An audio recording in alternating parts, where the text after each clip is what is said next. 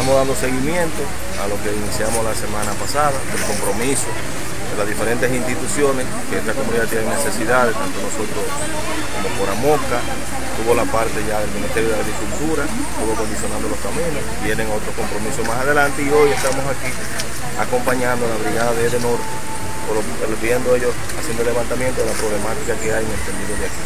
Y más adelante pues traerán las soluciones a esta comunidad. Una petición de nuestro director de Coramoca, Sandy Méndez. Eh, Hoy estamos aquí en la comunidad de La Joya de San Vito haciendo un levantamiento a una necesidad de que los comunitarios están exigiendo. Nuevamente diciéndole que la responsabilidad está y la esperanza en buenas manos. porque también es un peligro público y social. Vi que hay muchos niños en esta comunidad, esos alambres están un poquito bajitos, cualquier niño puede fracasar ahí y eso no lo queremos nunca. Todo bien. Sandy, Sandy se mueve. Sandy se mueve. Bien, muy bien.